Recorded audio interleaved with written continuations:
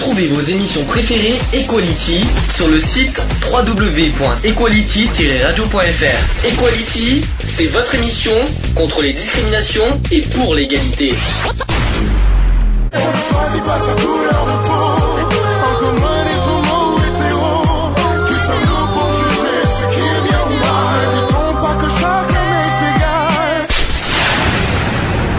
L'union fait la force. Ah, Donc on va parler de l'anorexie et de la boulimie. Ce sont des troubles de l'alimentation. Je pense que vous saviez Mhm. ça. Euh, moi j'ai une question à vous poser comme ça. Est-ce que vous avez déjà croisé des personnes ou euh, fréquenté des personnes qui étaient anorexiques ou boulimiques? Euh, moi, j'en ai croisé et je peux juste le confirmer. Je suis né anorexique. Mhm. Tu Voilà. n'es pas aujourd'hui, hein, pour être Je ne le suis plus maintenant, mais je, je suis né anorexique. D'accord. Euh, Je l'ai su il y a, il y a à peu près six ans. Euh, Je sais pas si tu étais né anorexique, c'est pas Si. totalement ce qui a été dit, c'est juste qu'on euh, c'est pas Ah, dans si. le- c'est juste qu'on t'a pas forcément donné à manger, euh, c'est pas Ah, mais c'est né anorexique quand même, puisque je pesais moins de, du, du poids que je devais faire. Oui, mais ça c'est encore autre chose. Vous avez euh, croisé sinon vous avez fréquenté des gens qui étaient anorexiques ou boulimiques Vous savez ce que c'est Oui. au moins l'anorexie et la boulimie Moi je vais pas vous poser vous savez ce que c'est au moins. Je- de toute façon je vais vous donner des des définitions et puis des explications. Est-ce que oui euh, Eve tu as dit je crois Oui, Alors vas-y explique-moi. euh, moi, Ah toi aussi Donc quoi, anorexique ou boulimique euh, un peu les deux. Alors tu, tu sais quelle est la différence Oui, alors euh, vers 14 ans, c'était l'anorexie et après, c'était un peu la boulimie. Boulimie, c'est quand tu es, manges trop Quand et tu après que manges tu trop, Voilà, oui, quand on tu as- mange pour euh, remplir un vide, euh, voilà, Voilà, c'est ça.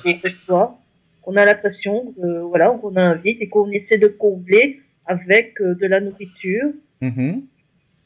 Et et que, l'anorexie. voilà, qui se remplit forcément pas puisque, voilà, euh, le mal-être euh, euh, n'est pas comblé. Alors pourquoi je parle de cette, euh, de cette, euh, de ce sujet? Rappelons que c'est quand même une double discrimination. Mhm. Vous savez lesquelles? Déjà un, c'est simple. Bah, le surpoids. Par Alors- rapport au surpoids, par rapport Alors à l'anorexie, c'est d'abord un trouble de l'alimentation. Donc qui dit trouble de l'alimentation, c'est la santé. la santé. Donc Voilà. ça, ça fait une discrimination. Ensuite, c'est aussi, il y a aussi une deuxième discrimination, laquelle? Le- L'apparence. C'est l'apparence physique, exactement. Quand, euh, donc, euh, d'où pourquoi j'ai décidé de parler de ce sujet. Alors, j'ai expliqué euh, au niveau de, de- des explications, la, la privation ou l'excès de nourriture n'ont toujours pas été considérés comme des pathologies mentales, et en effet, au Moyen Âge et durant la Renaissance, la privation volontaire de nourriture s'inscrit comme un mode de vie ascétique ou l'art du jeûne. J'ai bien dit du jeûne. hein. Mhm. L'anorexie mentale vient du terme anorexia nervosa, ou littéralement manque d'appétit d'origine nerveuse. Voilà. Et c'est une maladie grave qui n'a rien à voir avec le caprice alimentaire. Ah, ça n'a rien à voir. Ça n'a strictement rien à voir. Alors, elle se traduit en fait par un régime alimentaire strict, menant à une perte de poids importante avec l'obsession de maintenir ce poids faible à tout prix. Ce comportement alimentaire s'accompagne souvent d'exercices physiques excessifs et la personne malade se fait vomir pour éviter de grossir ou encore utilise le coupe-faim, le- les- des laxatifs aussi et des diurétiques. Euh, L'anorexique est obsédé par la peur de grossir et la peur d'avoir un corps flasque et ne reconnaît généralement pas la gravité de sa maigreur. Ce trouble du comportement alimentaire peut amener à une dénutrition extrême et à une dégradation de l'état général pouvant conduire jusqu'à la mort. Et là, je ne plaisante pas. hein. Ouais, non, mais. On parle de la triade des trois A. Est-ce que vous savez lesquels Donc A comme anorexie déjà. Ensuite, Euh, je sais plus. A comme... Je sais plus. Alors après, il y a peut-être un mot qui va pas vous dire quelque chose, mais l'amaigrissement des gens. L'amaigrissement, ouais. Forcément. Et, on parle... Alors je sais pas ce que c'est que cette, ce mot, je ne connais pas, c'est l'aménorrhée. Tu sais ce que c'est, toi, euh, Eve, ce mot? Les aménorrhées, euh, On appelle ça aussi des absences de règles. Ben oui, c'est ça, j'allais dire c'est des règles normalement. d'hygiène- Des règles d'hygiène de vie, ouais. Mhm. Non, règles, règles pour les femmes, hein, je oui, crois. les femmes, les règles. Voilà, les- les euh, règles. euh, tous les 28 jours qu'on a, euh, Voilà, c'est ça. C'est ce qui me semble. Alors, on distingue deux types d'anorexie. Il y a d'abord l'anorexie uniquement restrictive, Et ensuite, vous avez l'anorexie boulimie, qu'on en parlera tout à Mhm. l'heure, la boulimie. Euh, avec alternance de phase de perte de poids et de prise de poids. Je vais quand même rapidement, vite fait, vous parler de la boulimie. C'est que la boulimie est un trouble du comportement alimentaire proche de l'anorexie. Elle comporte certaines caractéristiques semblables à celles de l'anorexie mentale, à savoir une obsession du contrôle de son poids et aussi se faire vomir, prendre des laxatifs pour ne pas grossir et aussi multiplier les exercices physiques. Cependant, contrairement à l'anorexie, vous savez quelle est la différence entre les deux? Bah, c'est que tu manges plus, euh, tu vas combler le vide en, en faisant que de manger.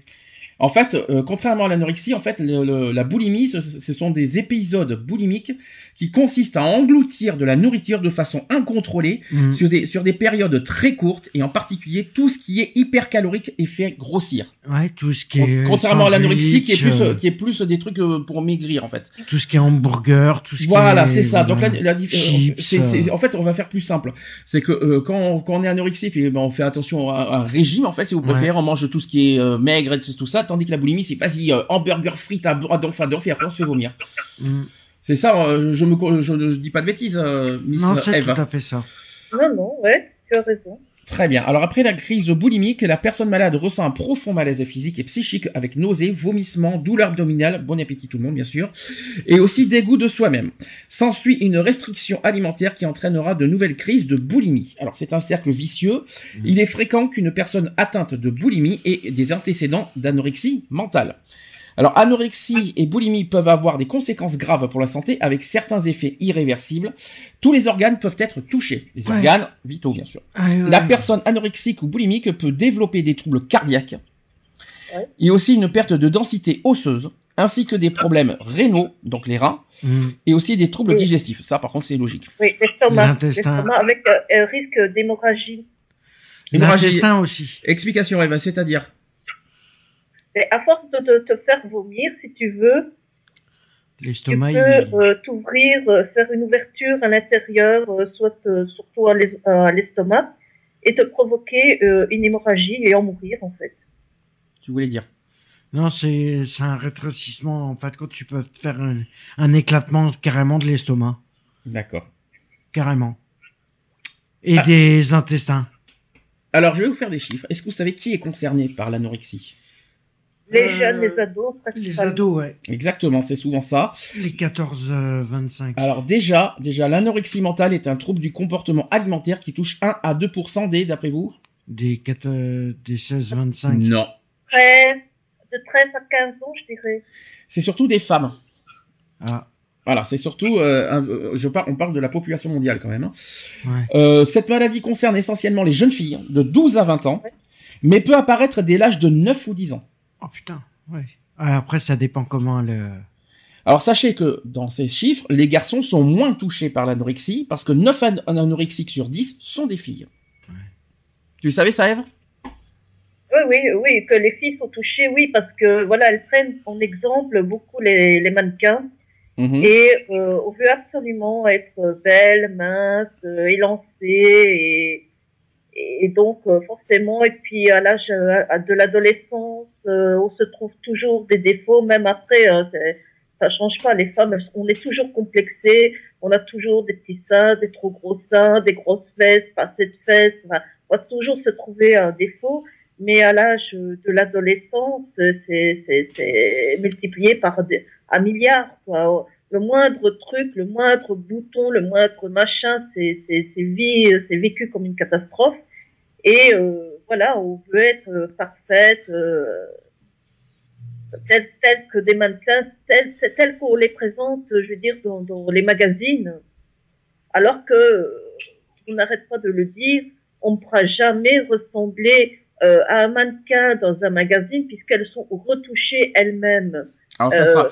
tout- toutes les photos sont retouchées, euh, aussi bien physiquement, donc du visage que du corps. euh, voilà, ils enlèvent des courbes, ils- voilà, ils- euh, c'est toujours retouché. Donc, les filles, vous ne ressemblerez, vous n'allez jamais ressembler à un mannequin de magazine. C'est impossible. Même le magazine, même le mannequin, euh, je veux dire, tu prends le mannequin euh, d'origine, voilà, tel qu'elle est, et telle que tu la vois dans les magazines, c'est le jour et la nuit. Tu soulèves un débat quand même, euh, Eve, dans cette histoire. Tu parles des magazines, même des, euh, on peut parler aussi des posters, enfin tout ce qu'on Mhm. voit aussi, les affiches publicitaires, etc. Est-ce que ça vous choque de voir des filles anorexiques sur des panneaux publicitaires, tout ça, ou est-ce qu'au contraire vous prenez ça comme un acte militant? Moi, je trouve ça scandaleux. Et euh, d'ailleurs, c'est pas pour rien que j'ai entendu parler déjà de trois mannequins qui sont mortes euh, de, de, de faim sur des podiums en train de défiler. Hein, euh, les, les, les gamines, euh, elles avaient même pas euh, 18 ans, quoi. Et à chaque fois, c'est ah mais c'est trop grosse, il faut maigrir, ah mais c'est trop grosse, il faut maigrir. Et, et les pauvres gamines, elles sont mortes de faim sur le podium. Il faut arrêter. Il faut. D'ailleurs, euh, normalement, euh, c'est interdit euh, de, de, de, de pousser à l'extrême ces- ces ces mannequins à, à la fin, quoi. Alors c'est pas la question que j'ai posée, c'est est-ce que visuellement ça te choque ou est-ce que tu prends ça comme un acte militant que les anorexiques se montrent dans des, dans des affiches publicitaires? Les anorexiques, Oui, les si anorexiques, c'est oui. pour parler, si c'est pour parler de la maladie, euh, montrer euh, leur calvaire, oui, je suis pour. Parce que voilà, c'est pour euh, quand même faire comprendre aux personnes que c'est une maladie à part entière, qu'il faut euh, prendre ça très au sérieux, que ça peut toucher n'importe qui de sa famille, aussi bien une fille qu'une nièce, qu'une filleule. euh, voilà, personne n'est à l'abri, donc euh, voilà, de, et euh, éventuellement euh, donner des liens vers des associations qui pourraient, je veux dire, donner des conseils à la famille qui est face à cette difficulté. Alors si c'est un acte militant pour la maladie, tu es pour, mais si c'est un acte euh, pour, euh, pour des magazines pour la mode, tu dis non. Ah oui, absolument. D'accord. Miss euh, Angélique, tu as des points de vue aussi là-dessus? Non, bah, c'est vrai que euh, les enfants sont souvent touchés, quoi, les petits, les ados, quoi. Ouais. Comme Eve et tout, Alex. Euh, c'est vrai que les plus qui sont touchés, c'est les petits, parce que pour moi, euh, particulièrement, non, manger trop, non. Euh, Je veux dire, j'en ai vu, oui, que j'en ai vu hein, des personnes hein, à l'école et tout, ouais, souvent, hein, ils se, ils se goinfraient, quoi. Et ils se mettent le doigt après dans la bouche pour se faire vomir, quoi. Mais c'est horrible, quoi. Mais sinon, pour ou contre euh, la question? Moi, je suis contre. Contre en général, même si c'est militant au niveau santé? Hum. D'accord, ça pour toi, ça t'écœure, ça te repousse. Ah ouais. D'accord. Et toi tu, tu- tu- Moi, je suis, je suis pour et je suis contre à la fois. D'accord. Le problème, c'est que si c'est dans un but de, de prévention de santé, je suis pour. Mais si c'est pour simplement se donner à l'affiche, euh, je vais, c'est, c'est bête ce que je vais dire. Mais si c'est pas dans un but euh, thérapeutique ou dans un but euh, de faire prendre conscience aux gens que c'est des maladies qui existent, euh, voilà, Ok. ça, ça a aucun intérêt. Pas trop proche du micro parce que je crois que tu as dû un peu cracher le micro, je crois, sur ce coup-là. Donc fais attention. Donc euh, unanime, presque, presque contre au niveau visuel, quoi. Ouais. Au niveau visuel, ouais. Alors, je, je continue. Donc, euh, le cas d'anorexie mentale ont fortement, euh, les cas d'anorexie mentale ont fortement augmenté de nos, euh, dans nos pays industrialisés au cours de ces dernières décennies avec le culte de la minceur et la course à la performance. Aux États-Unis, sachez que l'anorexie mentale est la troisième maladie chronique de l'adolescente. C'est la troisième. Et vous savez après quoi? Quels sont les Non. Par contre, Eve, je, je m'entends à nouveau en, En retour. En retour, c'est pas On très a fa- les retours, C'est pas, évi- c'est pas évident. euh, et fais attention, euh, fais attention à ça, Eve, surtout. Donc, euh, aux États-Unis, l'anorexie mentale, vous savez que euh, troisième, chronique, troisième maladie chronique après quoi, d'après vous? Bah, Il y a un. déjà certainement l'obésité, Ça fait un, oui, et le deuxième? Je sais pas du tout. le deuxième, c'est- l'alcool. Non, le C'est deuxième. la drogue Non, le deuxième, c'est l'asthme. Ah, l'asthme. Voilà, tout simplement. Le- L'asthme était en deuxième position quand même. Il faut quand même le, faut quand même le rappeler. hein. Ouais, mais faut dire les États-Unis. euh, Aux. États-Unis. Hein. Aux États-Unis, euh, crois même- ils respectent aucune règle. Alors, euh, Alors, l'origine des troubles du comportement alimentaire est multifactorielle avec des facteurs biologiques, culturels, sociaux et familiaux. Certains traits de personnalité répondraient aussi plus favorable à- favorablement à ce type de troubles tels qu'une faible estime de soi ou la tendance aussi au perfectionnisme dans le cas de l'anorexie. Ce sont des troubles psychiques pour lesquels les risques de rechute sont importants, ça c'est logique, lors d'un événement de vie euh, comme une grossesse par exemple ou aussi un divorce, un décès ou même la perte d'un emploi. Tout simplement. Alors, il y a quatre critères associés aux symptômes d'anorexie. Alors, je vais vous donner, vous allez me dire ce que vous en pensez. Alors, premier, premier critère, c'est le refus de maintenir un poids corporel normal. Alors, si cela Mhm. vous arriverait, est-ce que vous arrivez, est-ce que, supposons que vous voulez plus grossir, vous en avez marre et que vous avez euh, à tout prix besoin de maigrir, est-ce que vous en arriverez jusqu'à l'anorexie? Non, pour moi non. Alors, qu'est-ce qu'on appelle poids corporel? Qu'est-ce qu'on appelle poids euh, Eve, s'il te plaît?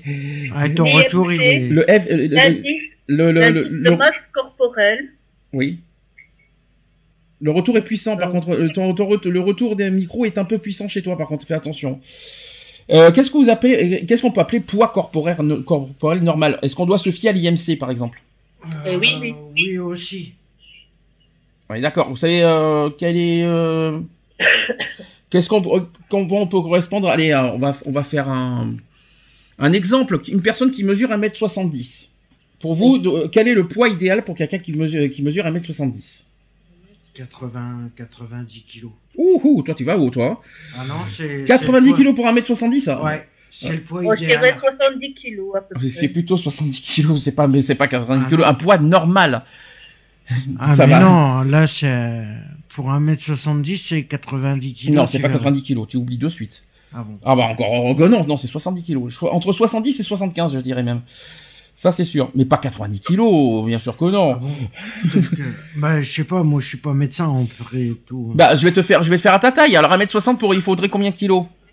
Il faudrait que. Là, je, je fais 65 kilos, il faudrait que je perde 5 kilos. Ouais, donc voilà, 1m60 pour 60. Donc pourquoi 1m70 pour 90 Ouais. euh, C'est pas logique. Ouais, Donc Ouais, s'il faut à 60 kilos pour 1m60, c'est pas 70 kilos, c'est pas 90 kilos pour 1m70. ouais, non, c'est. là, t'es pas logique. Ouais, non. En fait, c'est- simple. Hein. En fait, vous vous fiez euh, à la taille, aux 70 cm, et vous, enfin, 1m70, ça, ça- bah, ça fait 70 En kilos. gros, euh, Laurent, il fait 1m90, pratiquement 2 mètres. Donc il faut qu'il fasse 90 kilos, 90 kilos. Ok, ça va. par exemple. Pour Oui. être bien. Ouais, Ah ouais. bah, lui, il a les médicaments et tout, d'accord.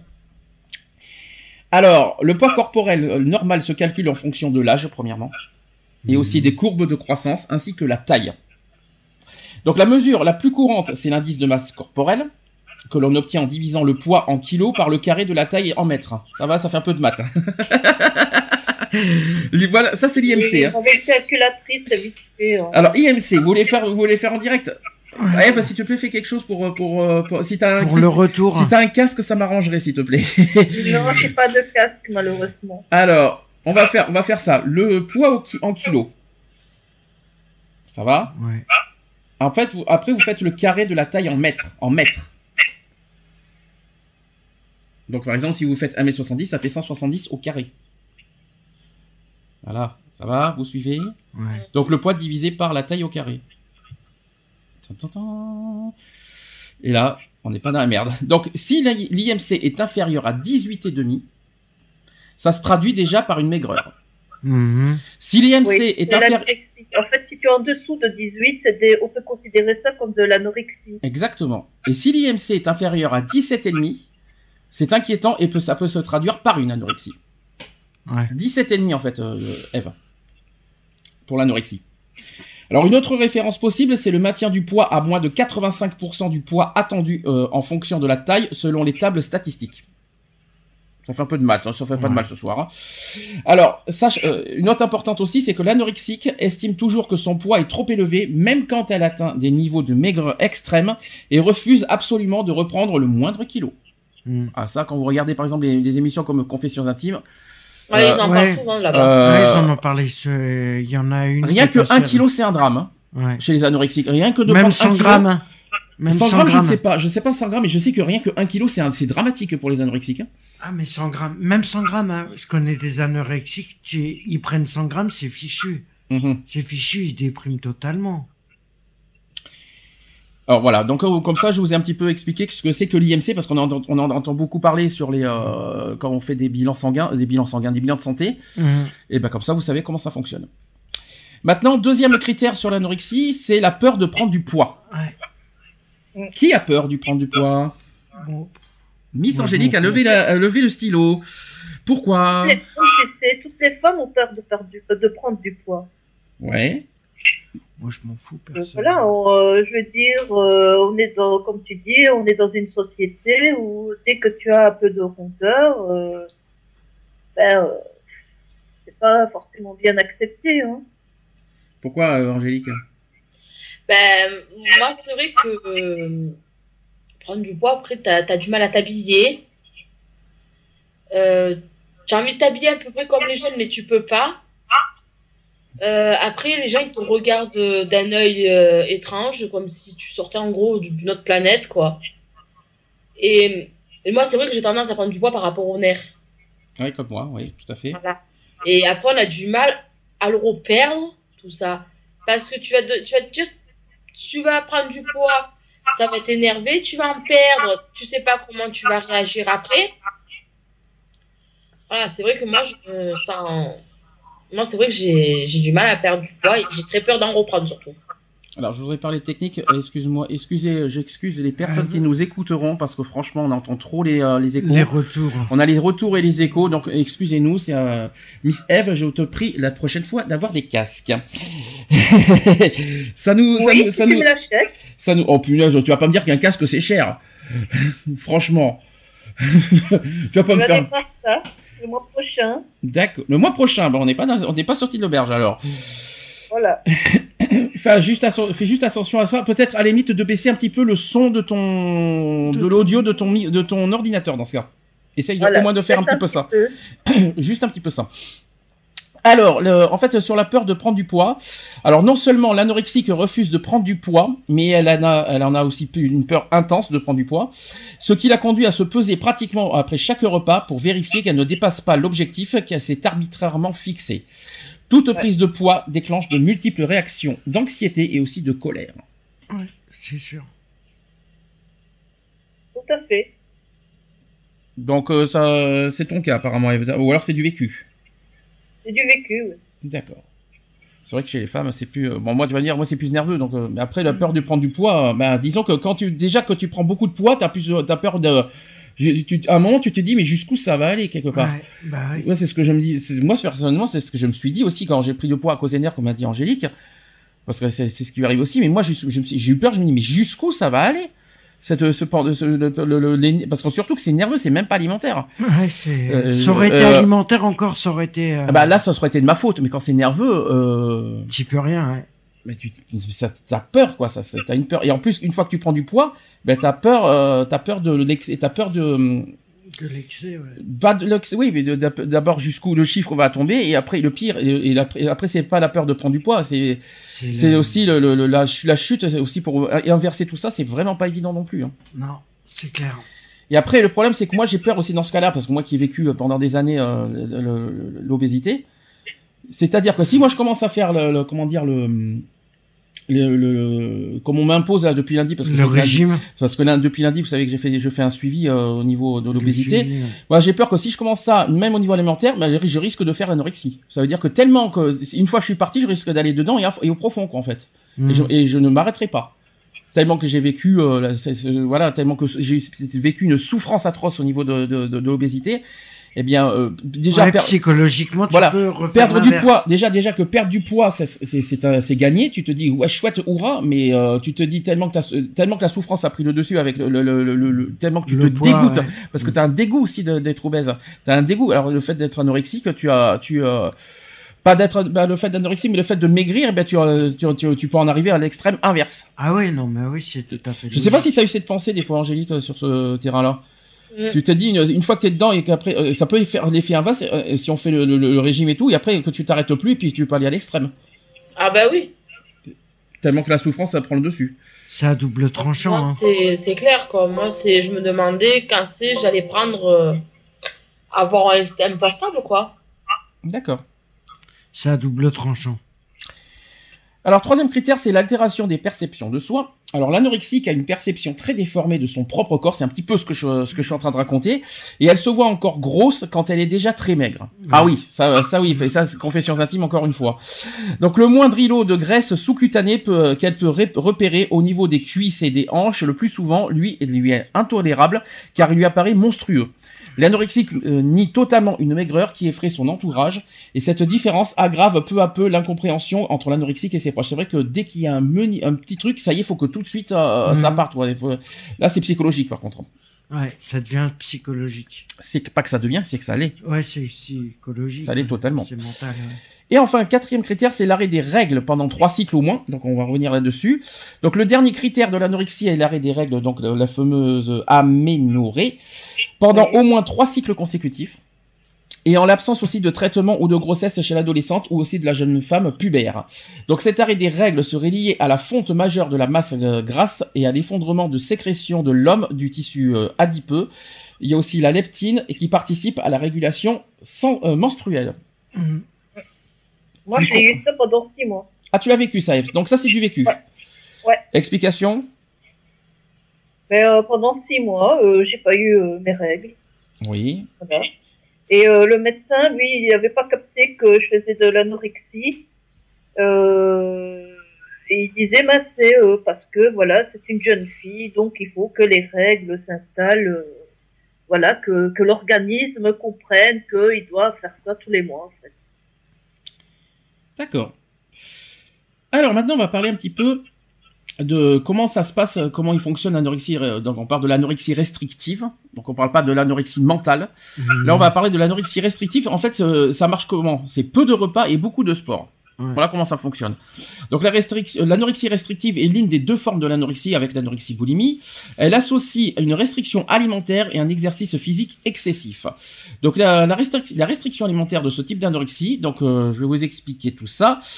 Euh, et puis là, ça me surprend quand je vois ça, hein, je vous le dis franchement. On parle par exemple de la quantité d'aliments. Comment fonctionne d'après vous, en, comment d'après vous les anorexiques fonctionnent en repas par On jour? pèse, on pèse euh, la nourriture. Mhm.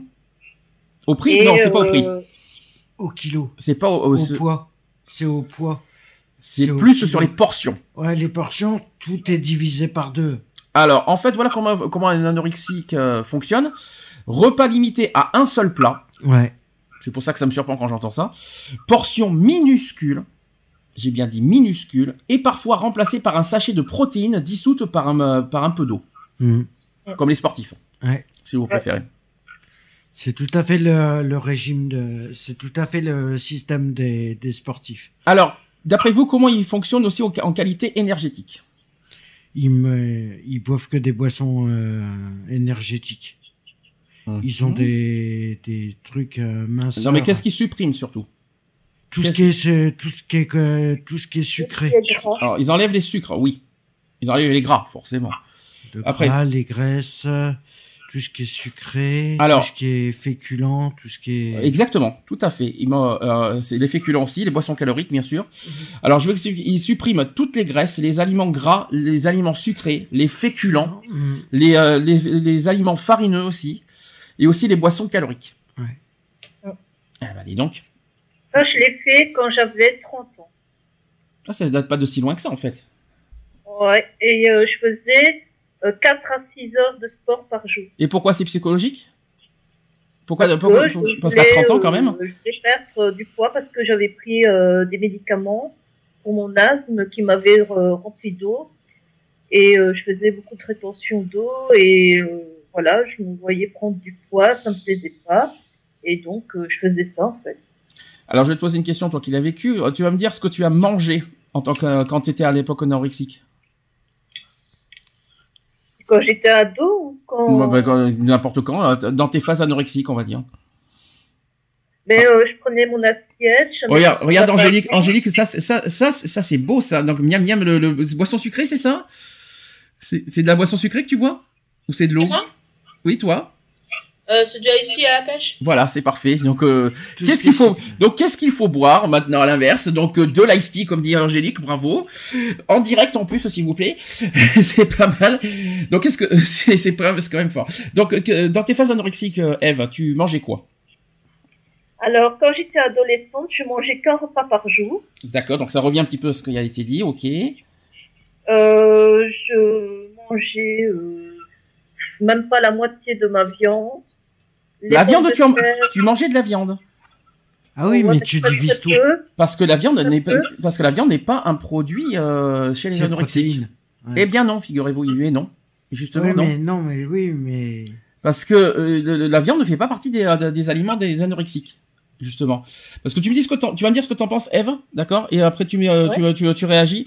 Parce qu'en fait, les, les aliments que mangent les anorexiques chaque jour, c'est des légumes, des salades, des fruits peu sucrés, des yaourts maigres et des produits dits allégés. Point. Mm. Ouais, mais Et ça, euh, fromage blanc, euh, maigre, euh, Oui, tout ce qui est à 0%. voilà. ouais, et encore fromage blanc, il y a un petit peu de gras, de gras dedans. Ouais, Même mais, a mais cent- 0%. euh, Ouais. Ouais, mais ils enlèvent le gras qui est dedans. Bah voyons. donc, Eve, est-ce que donc déjà la viande t'es hors anorexie là Mm. Mais c'est- euh, parce m'obligeait quand même à la manger, donc euh, mais, mais toi personnellement, moitié, mais toi personnellement, c'est pas pas ce qu'on t'a forcé à manger, mais toi personnellement. bah, si on m'aurait pas obligé de la manger, je l'aurais pas mangé. D'accord. Et, tu Parce aurais- je la jugeais trop grasse. et tu mangeais quoi que des salades? Oui, des salades, euh, des les légumes, et encore, je faisais attention pour savoir s'il n'y avait pas eu trop de gras dans, dans la cuisson des, des légumes, quoi. D'accord. Attends, On entend, de Lion- matière grasse. on entend Lionel respirer, c'est impressionnant. Respire. Tu peux. tu- pas possible, j'ai coupé mon micro. Ben, je peux dire que j'entends respirer, hein, c'est impressionnant. Donc. Ah, c'est toi, le Mister Ah qui s'approchait du micro avec son nez, hein, comme ça. On dirait, on dirait- Ah on ouais, dirait- parce on- que je me disais, c'est pas possible. on aurait, on aurait- micro, on aurait- je on aurait- peux on aurait dit, qu'on aurait dit que t'as sniffé, dis donc. Et tu sais que la drogue, c'était mercredi, c'est pas, c'est passé le, le sujet de la drogue. On, en- on oublie, hein. euh, on passe à autre chose, hein. Donc, euh, Eve, est-ce que tu peux, euh, toi qui as vécu ça personnellement le- au niveau des aliments, euh, d'ailleurs, comment t'as réussi à inverser ça D'ailleurs, parce que il faut, pour s'en sortir de l'anorexie, il faut quand même. euh, ça, ça a dû être dur aussi pour, pour, pour franchir cette étape. Comment t'as réussi ça? Mais euh, disons que c'est euh, ma, ma reine et tante qui, qui m'a obligée à, à manger, en fait. Et t'as pas justement euh, refoulé, t'as pas été euh, parce que les anorexiques en principe, tu te, tu, tu, Tu rejettes. tu rejettes tout en principe, tout, tout, tout, tout aide, tout aide euh, qu'on te, qu'on te fait, euh, tu les rejettes en principe. Oui, mais apparemment, j'étais pas euh, très profondément ancrée dans, dans, dans, dans ce principe-là, puisque je me suis quand même laissée euh, euh, reprendre de la nourriture, mais par contre, quand j'ai repris la nourriture, je suis tombée dans la boulimie, en fait. La boulimie, on en parlera tout à l'heure, ok. Ouais. D'accord. On en parlera après la boulimie parce que ça c'est autre chose. C'est, c'est pas, euh, ça veut dire que après t'es peur de la boulimie, t'as mangé euh, des, euh, trois paquets de chips euh, en, en une heure, par exemple, Non, ou alors euh, 10 hamburgers. Et euh, je me servais euh, trois assiettes. Ah oui, donc t'as carrément, t'as carrément inversé tes aliments en passant de des trucs tout maigres, tout ça, à des trucs complètement. euh, mais mais- mais- mais Ouais. qu'est-ce qui- mais qu'est-ce qui s'est passé? C'est le. Mais je les- sais pas, euh, voilà, j'ai commencé à déconner, à manger, à manger, à manger, à manger.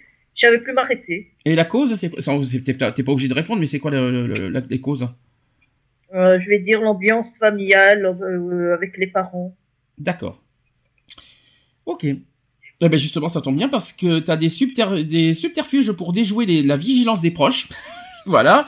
Donc pour mettre en place cette restriction sans inquiéter l'entourage, l'anorexique multiplie les subterfuges pour éviter le repas de fa- en famille. Tu vas me dire si Eve, t'es d'ac- d'accord avec ça. T'as le travail scolaire toujours urgent. Nous, Là, là, on est sur la dans ton adolescence. Est-ce que c'est le cas? Oui, j'ai des devoirs à faire. euh, D'accord. J'ai des copines pour. euh, faut qu'elle. J'ai une copine à voir pour qu'elle m'aide à. pour- Non, les copines, faut oublier, je pouvais pas avoir de copines. euh. Ah non. Non, mais copine. pour qu'elle t'aide à. Eh non. Pour qu'elle t'apporte les devoirs. mais euh, Oui, mais même, même euh, pas de copines, rien du tout. Euh, je me devais me démerder à l'école, mais pas de copines, rien. Alors, autre euh, astuce, vous savez, il y a, y aussi... Eve, il y a le- les échos qui sont de retour. Euh, baisse encore, ah, encore un petit peu ton ordinateur.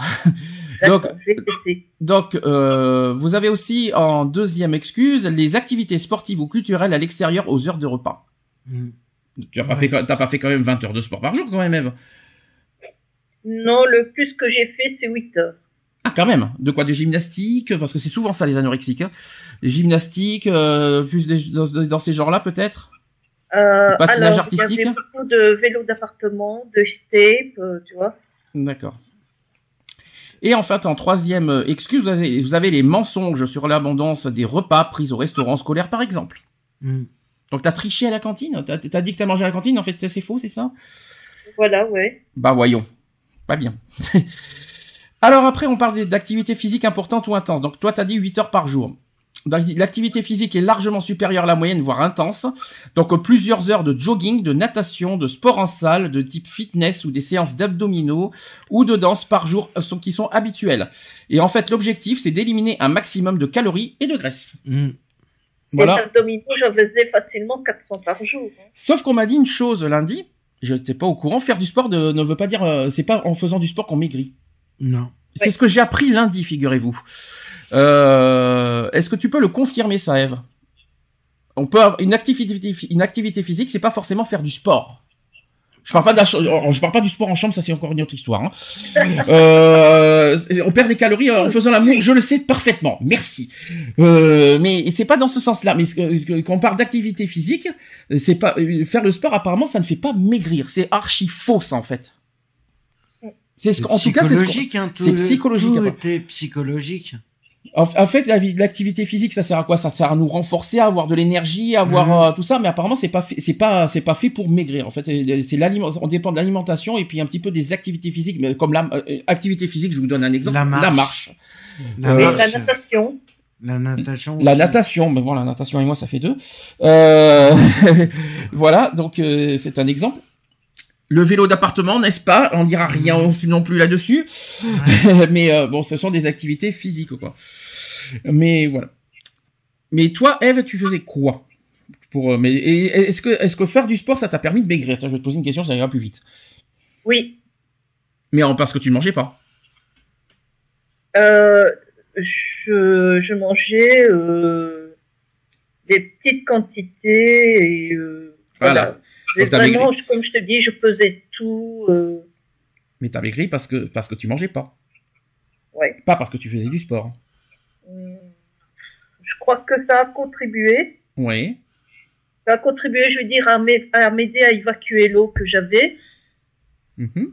parce que ça, ça, ça a réactivé, je veux dire, euh, euh, la circulation. Donc, ça a dû m'aider à évacuer toute cette eau que j'avais accumulée dans mon organisme. Donc, euh, c'est ça que j'ai perdu surtout. D'accord. Il y en a qui, qui arrivaient en cours d'émission, je ne sais pas s'il est toujours là.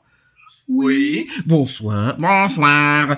donc, euh, bah quoi, il en fallait faire un coup, on est le soir. Hein, donc, euh, est-ce que toi, tu as déjà fréquenté ou croisé des anorexiques?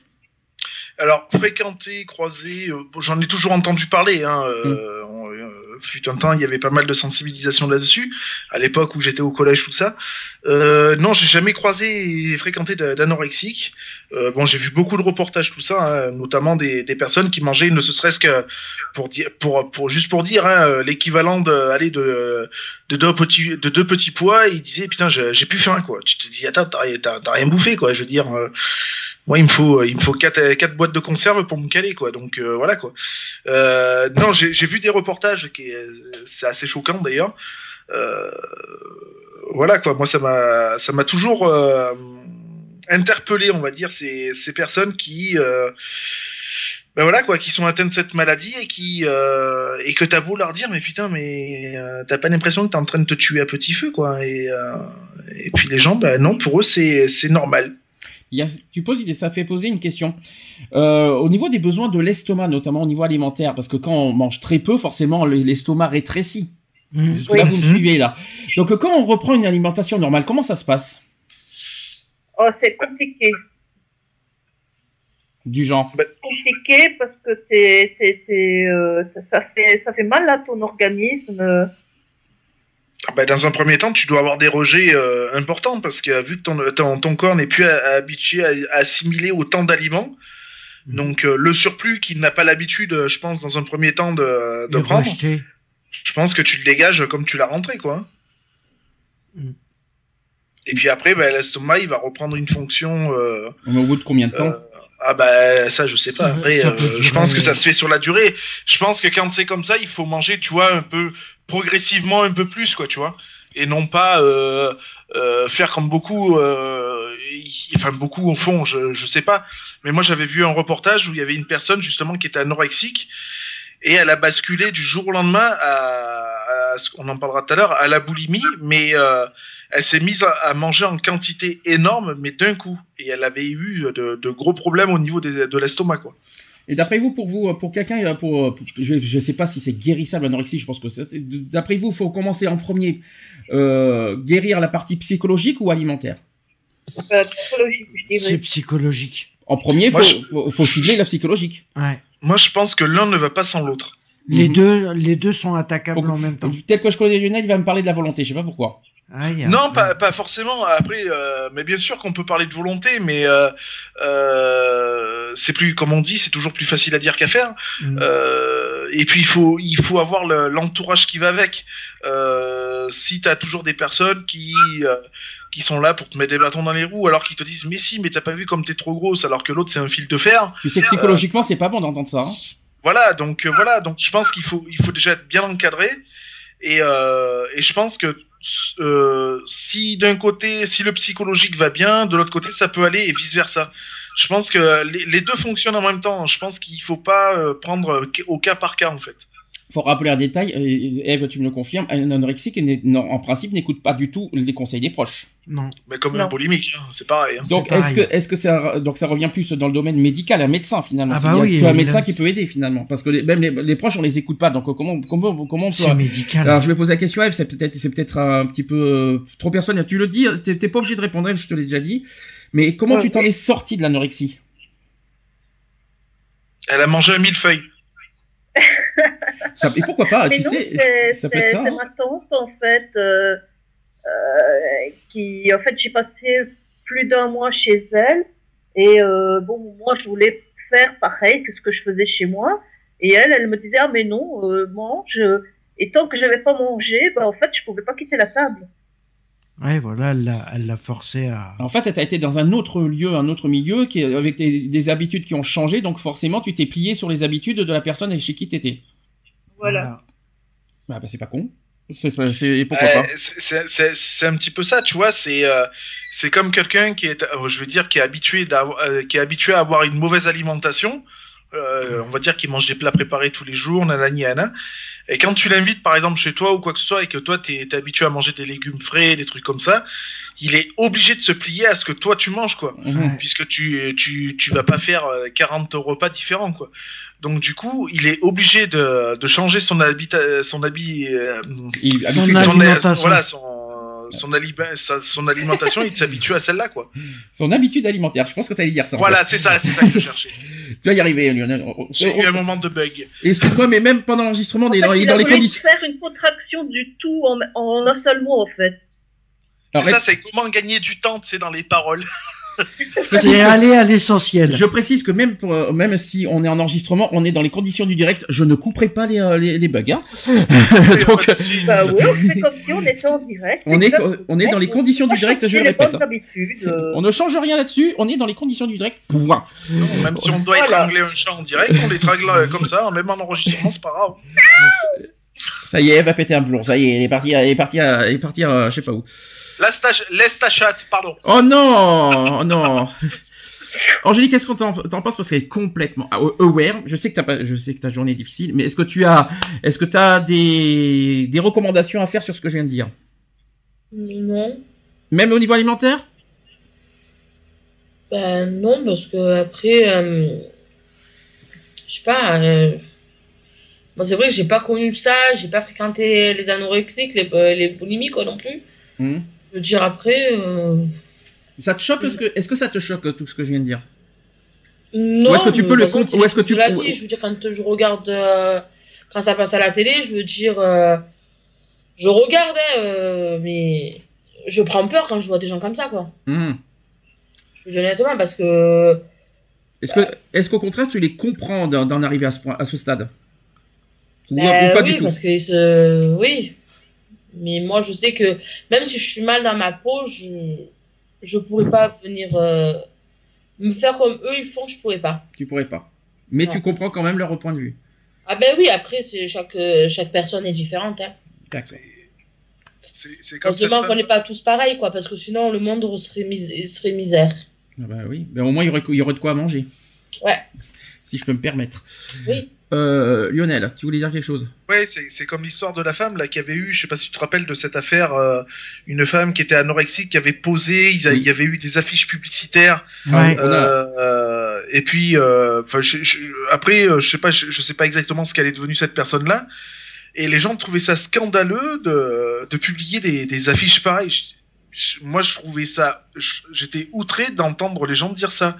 Je veux dire, la sensibilisation, il faut y penser aussi, quoi. Je veux dire, euh, euh, on n'est pas anorexique par plaisir ou boulimique par plaisir, quoi. Je veux Alors. dire, ça reste quand même une maladie, quoi. Je veux dire, alors même si c'est pas une maladie qui est, euh, on va dire, la plus, la plus fréquente, ben, elle est là, quoi. Je veux dire, et il faut faire super attention, quoi. Euh, on peut pas se permettre de, jouer avec euh, avec son organisme, quoi. Je veux dire, même pour une personne qui est anorexique ou boulimique, euh, ben, elle joue avec la mort, quoi. hein. C'est défier un petit peu la mort aussi, parce que euh, ton corps, il a besoin de certains éléments, et quand tu le prives de tout ça, ben, il y a un moment donné, ben, où tu tiens plus, quoi. hein, je veux dire. Mm. Alors, on va en arriver aussi sur l'anorexie boulimie. Alors, ça, c'est encore autre chose. Donc, c'est une crise, puis un vomissement volontaire. Ça, c'est l'anorexie boulimie. Sachez que près de la moitié des anorexiques présentent des crises incontrôlables de boulimie. Pendant ces crises, elles, euh, elles ingurgitent en, en un temps limité, généralement moins de deux heures, tout ce qu'elles trouvent à avaler. Dès qu'on, euh, ça veut dire que euh, dès qu'elles trouvent quelque chose, allez hop, on mange, on mange, sans, sans, sans se poser des questions. Hein, c'est dès qu'ils trouvent quelque chose, on mange. Sachez Ah, que hein. Sachez que chaque crise déclenche un puissant sentiment de culpabilité et de faiblesse devant l'appétit. Alors l'anorexique tente de compenser par trois choses, soit par des vomissements provoqués, soit par la prise de laxatifs et de diurétiques, soit par des efforts physiques encore plus intenses que d'habitude. Et attention, sachez que l'anorexie mentale n'est pas une perte d'appétit, mais un refus obsédant de manger par peur incontrôlée de prendre du poids. Et à noter aussi que chacune des deux formes d'anorexie présente une infinité de nuances en fonction de la personnalité et du milieu socio-culturel de l'anorexique. Ça, c'était une chose à vous dire. Euh...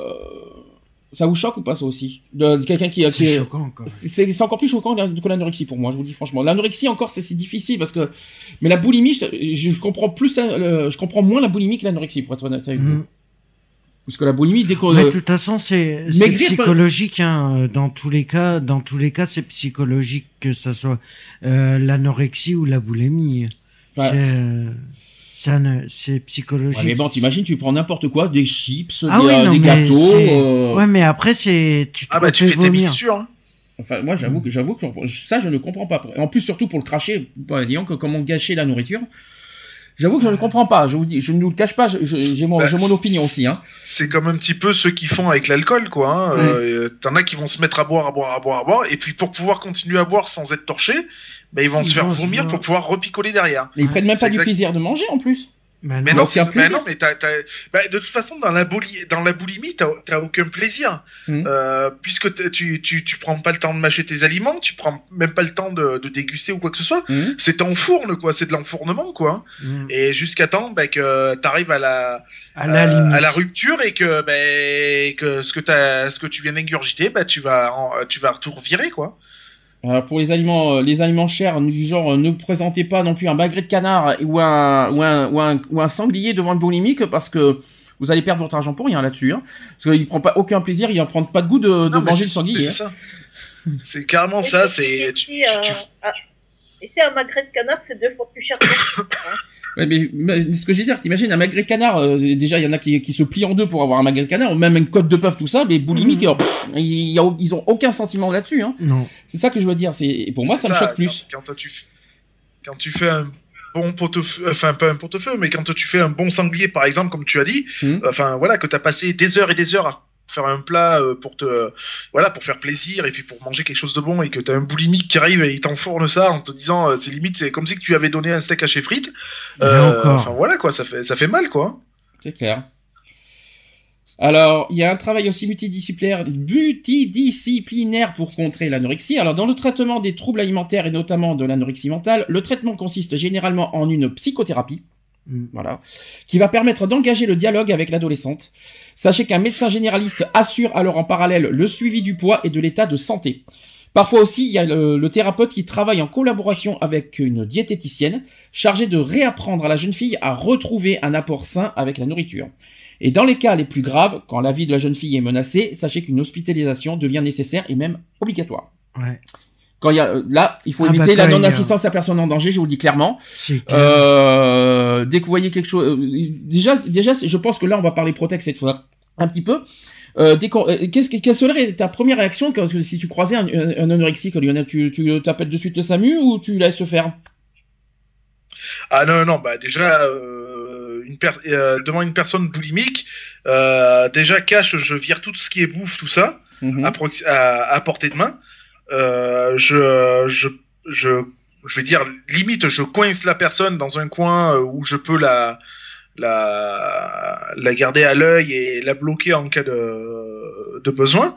Et puis oui, je fais appel directement au, au service concerné parce que de toute manière, il n'y a rien d'autre à faire, quoi. hein. Mhm. donc, euh, on n'est pas habilité à, à faire quoi que ce soit à part euh, justement retirer la bouffe et euh, la coincer dans un coin et, euh, Et faire, euh, et faire l'appel au SAMU, quoi. Est-ce que la première chose à faire, c'est vraiment, est-ce qu'il faut appeler le SAMU si elle, si elle refuse catégoriquement d'en- d'entendre le, bah, les, les, les conseils du genre mange, mange, mange, et à Ah, de, non, non, de, toute- de toute façon, quoi qu'il en soit, c'est si euh, si l'appel n'est pas fait, euh, tu l'as tu l'as très bien dit tout à l'heure, c'est non assistance à personne en danger. Donc quoi qu'il en soit, euh, tu te mets dedans quoi. hein. Donc euh, que tu le fasses se- ou que tu le fasses pas, même si la personne elle te dit non, t'inquiète, ça va et tout. Ouais ouais, ça va. Ben moi aussi ça va. Je vais pas me mettre dedans pour te faire plaisir. Ce qu'il faut savoir, c'est que c'est que la non-assistance à personne en danger, elle est quand même punissable. hein. mais Euh, ça, ça fait réfléchir quand même. euh, ça fait quand même réfléchir. hein. ça me laisse poser une question, Eve. Toi, euh, parce que tu es en sortie grâce à une, grâce à une amie que tu as, que fréquentée, et tu l'aurais pas, tu l'aurais pas rencontré, tu serais, tu en serais où aujourd'hui? Euh, eh ben, si tu veux, j'ai eu, euh, euh, suite à tout ça, j'ai eu un début de perforation de l'estomac. Ouais, Donc peut-être que je serais morte euh, d'accord. de d'éventration de l'estomac. Donc, tu n'aurais pas rencontré cette personne, tu serais plus, tu serais pas parmi nous, parmi nous en fait. Peut-être, ouais.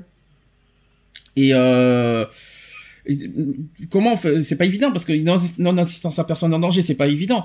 Euh, parce que est-ce que est-ce que le fait de te dire de manger suffit pour euh, pour sortir de quelqu'un d'anorexique de l'anorexie? Est-ce qu'il faut pousser Tant pis, il faut euh, faut taper la porte, il faut aller plus loin en disant tiens, je vais appeler les urgences. Point. À force de pas écouter. C'est ça en fait la question que je me prends, que je me pose. Là, je parle des proches, notamment des, des amis, des meilleurs amis, tout ce que vous voulez. Ouais, mais bon. Euh, euh, au bout d'un certain temps, il devrait se dire bon ben écoute, euh, bon il m'écoute. euh, au lieu de dire il m'écoute pas, je laisse tomber. Est-ce que ça, ça va faire ça? Ah non. Non, ça, c'est pas à faire du tout. Est-ce que ça, c'est un ami ou un, ou un vrai proche? c'est donner raison. C'est donner raison. Donc si tu tiens à ton enfant, par exemple, qui est anorexique ou boulimique, tu vas tout, mettre tout en œuvre pour le, le sortir de là. Mm. Euh, si tu es du genre à baisser les bras et à dire bon bah écoute maintenant je m'en bats le nœud et puis voilà, euh, ça veut dire que ben ouais, tu- en fin de compte ton gosse ben euh, tu prêtes as pas plus attention que ça quoi. Hmm. Je veux dire donc il y a un moment donné où ben ouais il faut prendre le taureau par les cornes, dire bon bah écoute puisque tu as décidé de pas nous écouter, écouter ou quoi que ce soit, Tu vas écouter ben, on va un passer la vitesse médical. supérieure, on va te faire, on va te faire rentrer à- en, en milieu euh, Oui. spé- euh, spécialisé, et puis voilà quoi. Enfin, Oh, si tu Dieu. tiens à ton enfant, enfin moi c'est ce que je ferais quoi, personnellement quoi. Euh, oui, quand tu es voilà, dans quoi, un je veux dire, milieu, euh, je veux la dire, vie. aimant. Tu disais Eve? Je dis quand tu es dans un milieu aimant, quand je veux dire quand tu es dans un cadre, une famille aimante. Là oui. Mais quand tu ne, ce n'est pas le cas, ben euh, voilà. Quand je dis proche, il n'y a pas que la famille, il y a aussi les amis. Hein. Mm. Je te le rappelle ça aussi. Euh, normalement, quand on est des bons amis, on n'est pas censé euh, laisser faire et laisser tomber, euh, baisser les bras face à. Ça reste une maladie, une, mala- une maladie. On doit prendre ça au sérieux. Euh, c'est pour ça que je dis euh, l'anorexie, c'est pas, c'est pas, c'est pas que psychologique. Ça reste une maladie grave et que et qu'en tant qu'ami, on doit pas le laisser euh, tomber, euh, bah, bah, le laisser mourir en quelque sorte. Parce que je- si je peux me permettre, ça, ça reste mortel si on continue l'anorexie. hein, si on continue, Ouais, si, on- si, je peux me permettre. Hein. Donc un, un ami censé être un ami, ben, est censé réagir tout de suite et pas attendre, allez, on va dire trois quatre mois pour dire, bah tiens, je vais la sauver. non, c'est tout de suite qu'il faut qu'il faut s'y prendre et ne pas laisser tomber et, et même, je dirais même du jour au lendemain, même en 24 heures, disant, je vais t'emmener aux urgences. C'est un exemple. Mm. C'est un exemple que je pense. hein. Après, ce n'est que mon, mon, mon, mon opinion personnelle. Et malheureusement, vous savez que les amis, ça se compte sur les doigts. Si me sûr. Alors, Corinne Dubel, qui est diététicienne et nutritionniste spécialisée euh, dans les troubles du comportement alimentaire, qui travaille avec un- une psychologue ou un psychiatre, affirme que le vrai problème n'est pas dans l'assiette, mais c'est là où elle somatise. Comme euh, tout, euh, comme pour toute phobie, ici, c'est euh, celle de grossir, parce que ça, ça reste une phobie. là, Mhm. voilà, en fait, l'anorexie, leur, leur phobie, c'est de grossir, tout simplement. Et il est bon de la rassurer sur les aliments qu'elle mange. Il s'agit de chasser donc ces peurs d'aliments sucrés, gras et donc euh, hypercaloriques. Et l'idée est de réintroduire progressivement chaque classe d'aliments et d'augmenter les quantités. Je crois que c'est ce qui est arrivé, Eve. Euh, On peut créer ensemble aussi une recette de dessert light. Par exemple, Mhm. de créer un, un dessert light comme une tarte au citron peu sucrée. Et on va en fait l'améliorer au fil des séances en augmentant progressivement le pourcentage des matières grasses, par exemple. Donc en fait, il faut faire progressivement. Ouais. Et il faut y aller progressivement. Tu commences à tout ça et après petit à petit, euh, oui. C'est comme tout. C'est comme tout. C'est comme pour quelqu'un qui veut arrêter de fumer, il va arrêter progressivement, il va pas arrêter d'un coup. Euh, bah, la nourriture, c'est pareil. Pour quelqu'un qui veut euh, sortir de, on va dire de l'anorexie ou de la boulimie, bah, il va commencer à manger un peu plus pour un anorexique et manger un peu moins pour un boulimique. Mhm. En temps, nor- en temps normal. La boulimie, c'est plus difficile. L'anorexie, euh, voilà, c'est lui, lui faire. euh, Ouais, on remarque les, bou- la boulimie, c'est pareil parce qu'il faut aussi lui apprendre à, à Voilà, re- reapprécier le goût ça, des il faut- aliments. il faut- voilà, il faut réapprécier les, les aliments, ressentir les saveurs. Mhm. manger en quantité raisonnable, euh, c'est ce qui est le plus dur. Euh, et, et puis voilà, et, et faire certaines concessions aussi, parce qu'il y en a quand même pas mal à faire. Quoi. Après, après, il faut pas non plus faire euh, de, de l'extrême à un autre extrême. Ça veut dire ne pas lui faire manger euh, 400 grammes de pâtes euh, pour faire Voilà, c'est sûr. C'est Euh. sûr qu'un boulimique, tu vas pas lui faire manger euh, 20 kilos de légumes euh, d'un coup, quoi. Je veux dire, faut que ce soit progressif. Mmh. Euh, Miam miam, 20 kilos de brocoli. Mmh, miam miam. hum, après, je te dis pas le slip, hein. Bon, bref. Non, mais bon, voilà. Puis en plus, si la personne, elle aime pas les légumes, alors je vais t'expliquer, c'est encore plus compliqué. Euh, donc voilà, quoi, je veux dire, euh, c'est c'est comme moi. Moi, euh, j'ai aimé le chocolat, maintenant, ça m'écœure. bah, bah, non, on va te faire réapprécier le goût du chocolat. Mais par contre, tu me donnes un bon chocolat noir, ouais, je vais le manger. Donc tu peux. Ah, mais je peux. Mais euh, j'en mangerai plus comme j'en mangeais avant. Euh, t'auras des kin- euh, rien que pour Noël, t'auras des Kinder Surprise, des tablettes au chocolat, des, euh, t'auras plein plein de choses, t'inquiète pas. T'auras même des mon chéri, tout ce que tu veux, euh, etc. Hein? Comme non, c'est la première chose qui me vient. C'est pas pour ça. Ça n'a rien à voir. Non, mais Eve, ne te mets pas de, ne te mets pas tout de suite de, de mauvaises idées en tête. Il y a rien de, de, de, de suspect là dans ce que je viens de dire. Il y a pas Ah aucun non, c'est problème. que de chocolat. C'est Moi, que je du chocolat. connais, ouais. hein, ça, fait, ça fait deux siècles que j'en ai pas mangé, mais je connais. Hein. Alors, au niveau, il faut aussi également travailler sur le goût et le dégoût. J'explique. Dans le meilleur des cas, la- l'anorexique absorbe 1000 calories par jour. Mm. Et elle a dressé une liste d'aliments qu'elle refuse et qu'elle dit ne pas aimer. Oui. Bah oui, c'est un petit peu ce qu'on m'a fait lundi d'ailleurs comme travail. Qu'est-ce que j'aime, qu'est-ce que j'aime pas. Mhm. Voilà. C'est... Et aussi, ils sont quasiment toujours énergé- énergétiques. Et le travail de la diététicienne consiste également à réintroduire les aliments supprimés progressivement en travaillant sur le goût. Ouais. C'est pas évident ça. On décide ensemble d'un aliment dit interdit comme une lichette de fromage, une cuillère de pâte, un carré de chocolat, n'est-ce pas Lionel, ou un yaourt. Le travail s'effectue par, par étapes progressives. On goûte ensemble et si c'est et si possible en groupe. En fait, pour je je vais expliquer aussi mon, mon astuce après. Chaque euh, chacune évoque son ressenti gustatif afin d'être progressivement dans le plaisir. C'est la réputation de l'expérience qui place la jeune fille en confiance et ce travail s'effectue en parallèle avec la psychothérapie axée sur les causes de la maladie avec pour objectif d'aider la jeune fille à retrouver du plaisir et à déculpabiliser. Mhm. Moi j'ai une autre astuce, c'est qu'en fait pour, euh, pour- parce qu'en fait il y a le visuel qui compte aussi. Aussi, ouais. Dès que tu vois une carré de chocolat, ça te repousse. Donc si on veut aussi faire apprécier le goût, il faudrait qu'on ait un cache non œil si vous préférez là, des cache non œil et puis qu'on apprécie au goût comme ça qu'on- euh, doucement pas pas pas gros, vas-y prends mange mange deux carrés de chocolat d'un coup fasse trouver- euh, The Voice, mais à l'alimentaire. Pourquoi The Voice? Bah, ils sont à l'aveugle. Les, euh, les auditions, ils sont à l'aveugle. Ouais, mais, mais, par euh, rapport à l'alimentaire, tu ouais. le ferais à l'aveugle Ouais, mais aussi. sauf que The Voice c'est à l'oreille, c'est pas c'est pas la vue. Non, mais, À non, mais pour l'alimentaire. Oui. Pour l'alimentaire. Pour Oui, euh, mais je pas ça. Ouais. Je crois pas que ça marcherait parce que la personne aurait trop peur que tu lui donnes un truc hyper calorique. euh. Ah ouais, aussi, ouais. Bah justement, tu, tu Ah, rassures. pour, ça- pour Sandy, ça marcherait bien. Il faudrait lui donner des petits pois carottes. Il aime ça. Oh l'enfoiré. mais tu voir le chocolat derrière. mais mais euh, non mais c'est pas non mais moi je le moi c'est au goût que j'aime pas, c'est pas le c'est pas le visuel hein.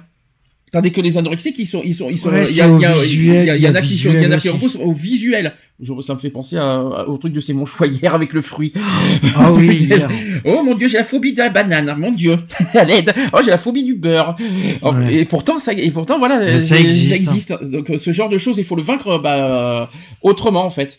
En fait, il faut apprécier le goût avant, avant de, de parce qu'il y en a qui sont, de voir le visuel. euh, euh, voilà, en, en dépassant le visuel, en fait. Et en Mm. fait, faut, Tu en- vois, par exemple, c'est comme moi qui n'aime pas les endives cuites. oui, Euh, avant de dire je n'aime pas, j'ai déjà goûté. c'est ça. Euh, donc, c'est en ayant goûté que je peux te dire que ouais, j'aime pas du tout. Quoi. Mais toi, c'est à la, Euh, mais oui, mais toi, t'as la vue. Même si toutes les façons ont été faites, hein, enlever l'amertume, etc., etc., ça passe pas. Mais toi, c'est Euh, visuel ou c'est au goût hein?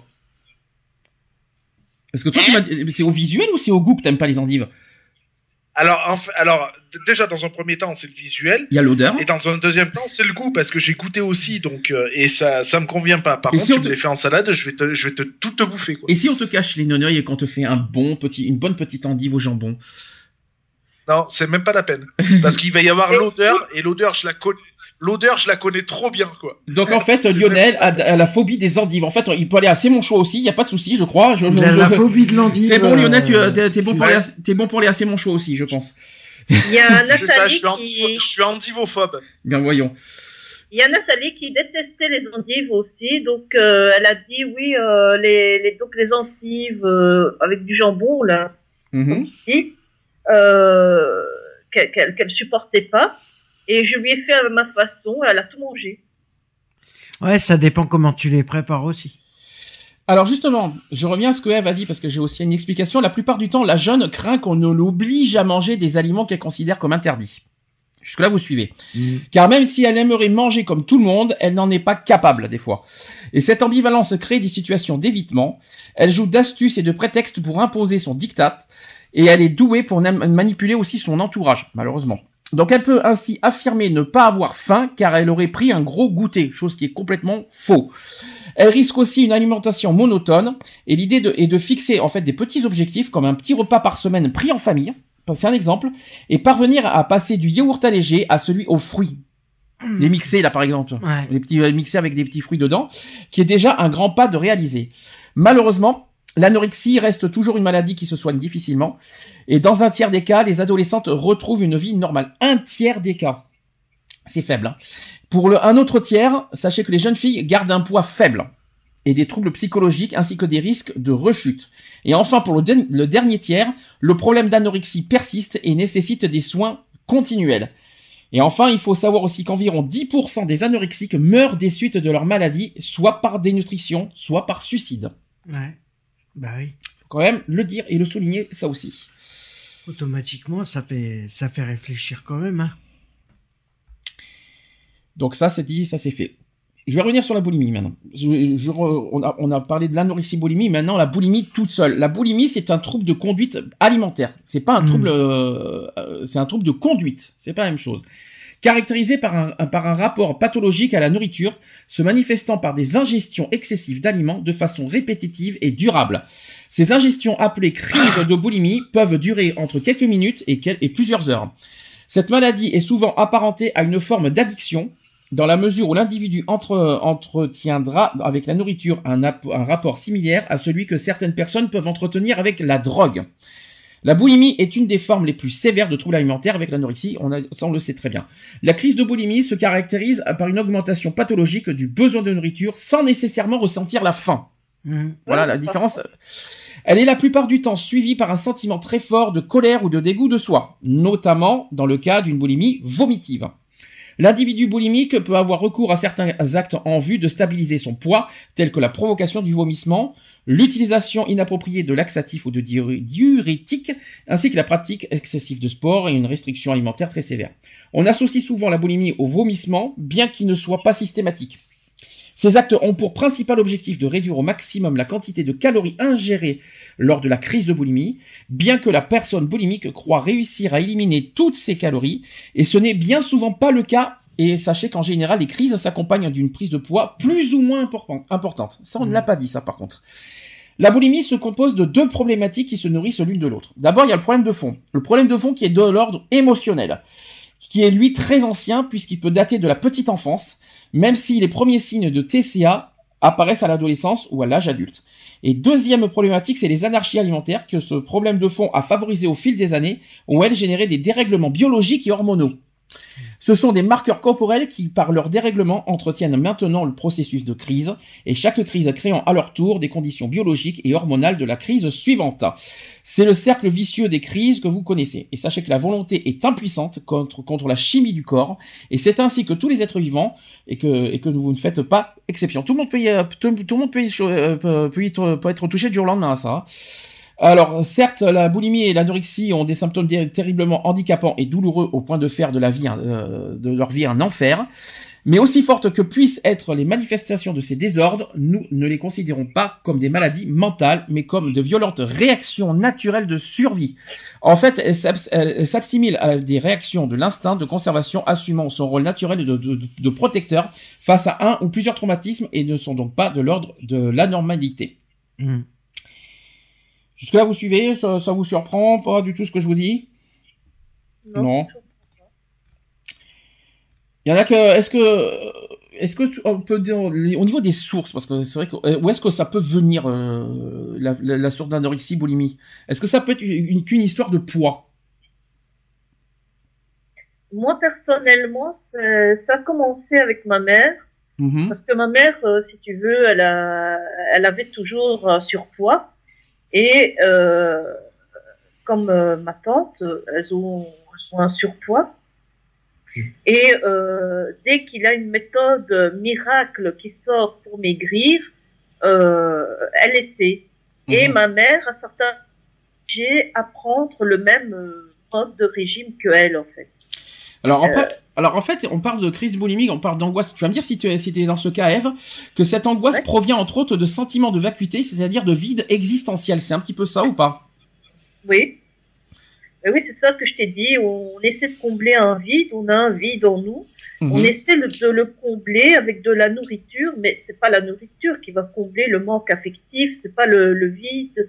Voilà, ce vide-là va être euh, comblé que voilà par, euh, euh, je veux dire, de l'amour, de la famille et autres. Euh, si tu as un manque affectif, c'est pas parce que tu vas te taper, euh, je sais pas moi, 10 parts de tarte que ça va le combler. Autre chose, on dit que l'angoisse vient aussi d'un manque d'ancrage. Donc quand, on dit ancrage, ça signifie ce qui permet de tenir au sol, c'est-à-dire aux réalités et aux valeurs solides et sûres sur lesquelles nous pouvons nous appuyer pour bâtir notre vie sans qu'elle s'effondre. N'est-ce pas? Ouais. C'est un petit peu ça aussi? Ouais, bah oui. Oui. Alors, l'ancrage est une notion fondamentale en médecine tradi- traditionnelle parce qu'il est difficile de l'expliquer complètement ici en quelques mots.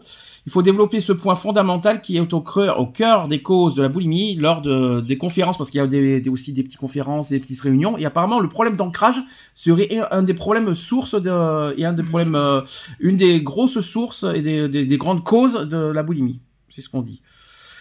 Euh, Est-ce que on peut vaincre la boulimie en disant il faut briser ce cercle vicieux, comme je vous dis, hein, par exemple l'ancrage, tout ça. Est-ce qu'il faut briser ce cercle vicieux pour euh, vaincre la boulimie? Oui. C'est faisable d'après toi? Ouais, c'est faisable, oui. Et on, nous dit par exemple que stopper les crises est tout à fait possible et cela peut être très rapide. Ouais, ça peut être, euh, ça peut être très rapide. Est-ce que c'est faisable? Est-ce- ou est-ce que c'est mission impossible? C'est- Ça dépend d'une personne à l'autre, je vais dire. Tout dépend à quel stade elle en est, euh, comment elle est entourée. que- voilà, il y a plusieurs, euh, je vais dire, facteurs qui vont faire que c'est pas euh, juste euh, comme ça du jour au lendemain. La personne, ça peut éventuellement quelque chose qui lui fasse un déclic. Hmm, Mais je, comme je te dis encore une fois, c'est d'une personne à l'autre. ça- Je ouais, veux dire, euh, tu vas prendre 5, allez, tu vas prendre 50 boulimiques. Euh, les 50 personnes, euh, si elles sortent de la boulimie, vont sortir euh, certainement d'au moins une, une vingtaine de façons différentes. Alors, par exemple, dans cette méthode, hein, je parle de- parce qu'il y a une méthode apparemment pour arriver à stopper les crises de boulimie. Vous allez me dire ce que vous en pensez. Apparemment, il y a un premier obje- objectif, c'est de rassurer la personne boulimique qui doute de tout par les mots, mais uniquement parce qu'elle vit. Ouais, ça, ouais. Est-ce que ça, est-ce que ça, Eve, tu es d'accord? Oui, Ça, c'est faisable. oui, Dans cette méthode, supprimer les crises ne consiste plus pour vous, en fait, à, essayer d'être encore plus forte contre les pulsions, mais bien de normaliser certaines courbes biologiques et hormonales pour que les crises ne viennent plus. Mm. Tout simplement. Cette démarche de commencer par faire disparaître les crises peut paraître pour certains à l'inverse des thérapies euh, courantes comme, comme les, ana- les analytiques, les séries de, de psychodrames ou comportementales, mais cette stratégie est une des clés de la réussite et c'est notre choix car la rapidité des premiers résultats est à notre sens essentiel. Donc ça c'est la méthode rapide. En fait, on peut faire on peut faire cash en stoppant les crises en passant par là. Ouais. Après, t'es pour ou contre sur cette, strat- cette stratégie rapide que cash? Ou est-ce que tu Bah, préfères, ou non. est-ce que tu préfères la méthode douce? Moi, je préfère la méthode douce. Personnellement, moi, je sais qu'à l'époque, euh, on aurait fait ça de façon brutale. euh, je, je me serais complètement refermée. euh, ça aurait été pire. Alors la méthode douce, je vais vous l'employer et tu vas me dire, euh, vous allez me dire si vous êtes d'accord. J'ai la, méthode douce en trois étapes. Mhm. La première étape, c'est avant de, avant même de chercher à manger équilibré, il est nécessaire de cibler et traiter le mécanisme du mal-être. Ça, c'est Ouais. le premier point. La vraie maladie, c'est de, n'avoir pas grandi émotionnellement, même si intellectuellement, on peut se sentir très fort. Au fond de soi, on se sent vide, incomplet, pas construit, comme un petit enfant avec des émotions débordantes et parfois ingérables. Donc on a des sensations de vide et d'ennui intense, le sentiment d'être seul parmi les autres, même avec ceux qu'on aime. Donc il faut plaire à tout prix pour que l'autre ne nous abandonne pas. Et si l'autre donne l'impression de s'éloigner, ne serait-ce que pour un moment, ne serait-ce que parce qu'il n'est pas d'accord, soit on panique, donc soit on le hait au point de chercher à lui faire du mal, soit on le jette.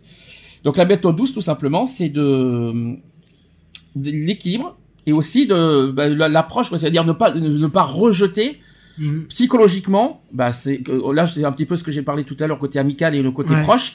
Eh bien, il faut pas laisser tomber, il faut être toujours là, de- toujours présent euh, dans, dans ce moment-là et ne pas laisser tomber. Donc ça, le, le- quoi qu'il en soit, amicalement, être toujours présent et à, et à 100%, ne pas laisser tomber. Parce que sinon, vous allez voir, les, euh, vous allez voir l'anorexie comment il va réagir. C'est un petit peu ce que Mhm. je viens de dire. Alors en fait, la deuxième étape, c'est de contenir sa colère. Alors là, bon courage. Est-ce que c'est faisable ça? Ça.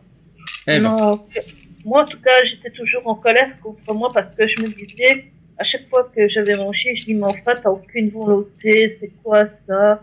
Euh, Tu vas jamais arriver. Euh... Et alors, euh, je redoublais, je faisais plus d'activités euh, physiques, tu vois. Mhm. Et, et je, je m'en voulais, je me dis, bon, enfin, il faut avoir un peu de volonté quand même. euh, tu peux te maîtriser à la fin. Tu vois, je m'en voulais. Je me, je me, je me- En fait, je- j'arrêtais pas de me critiquer. Alors j'ai Mais où est ta volonté dans tout ça Alors j'ai une j'ai un témoignage d'une ancienne boulimique qui a dit ceci avant il fallait absolument que je me fasse mal, que je me blesse, je prenais des rasoirs pour me couper aux mains, je buvais beaucoup d'alcool, je prenais la voiture, je ne respectais aucun feu rouge. Plus il y avait d'adrénaline, mieux c'était. C'était à peine si j'arrivais à éviter des accidents de voiture. Quand la limitation de vitesse était à 50, moi je pouvais rouler à 140. Je prenais les ronds-points n'importe comment, c'était tout juste si, euh, si la voiture ne se retournait pas. Quand j'étais avec les gens, soit je me disputais très fort, soit je coupais toute conversation avec tout le monde. Je me faisais physiquement du mal, je m'arrachais aussi très fort les cheveux. Ce qui me soulageait beaucoup, c'était de me couper. En plus, là, il y a de la scarification. Mhm. Alors ça, c'est un témoignage pendant sa phase scolaire, hein, c'est ça que je veux dire. Mhm. C'est un témoignage, c'était, c'était une phase, voilà. Et, et bien sûr, comment contenir ça? Est-ce que vous avez des solutions? Pas évident, hein. Bah, Il faut être proche et puis il faut être là, hein, il faut, faut toujours être présent, Ouais, toujours, mais- euh, toujours montrer qu'on qu'on est là pour elle et pas contre elle. Ouais, c'est sûr. C'est ça qu'il faut se dire. Et la canaliser au niveau de la colère, au niveau de ses crises, etc. Ouais, mais euh, sur le sur le coup, c'est- tu peux pas euh, tu peux pas forcément les. Tu vas essayer, mais ça ça, ça peut fonctionner comme ça peut pas fonctionner. Hein. Tout à fait. Tu sais pas comment Oui. elle va- tu sais pas comment ce que ce que tu vas lui dire, tu tu sais pas comment elle va réagir. Alors automatiquement, toi ça va t'énerver d'un sens et et tu vas commencer à t'énerver aussi. Et... Ça reste une maladie. Ouais.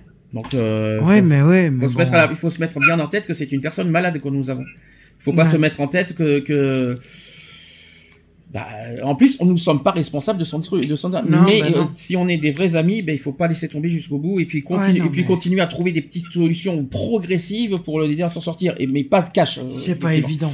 Et troisième étape, justement, il faut se forcer à écouter les autres. Est-ce que ça, c'est faisable, ça? Ça, c'est faisable. Difficile. Difficile, alors ça c'est sûr, mais est-ce que c'est possible? Oh, c'est faisable. C'est possible, mais euh, faut euh, commencer déjà à commencer à s'en sortir. Il y a quelqu'un qui a parlé, c'est ça? Ouais, c'est Lionel. Lionel a parlé, il est pas loin? Ouais. Oui. Ah, J'essaye j'essaye de suivre parce que j'ai j'ai des gros bugs. j'ai- Vous avez des voix de robots, c'est horrible. Donc, euh, euh, ouais, comme je dis, oui. Alors, est-ce que c'est c'est possible de- de- d'entendre, enfin, les, les proches, par exemple? Euh, C'est possible, oui, mais à quel degré?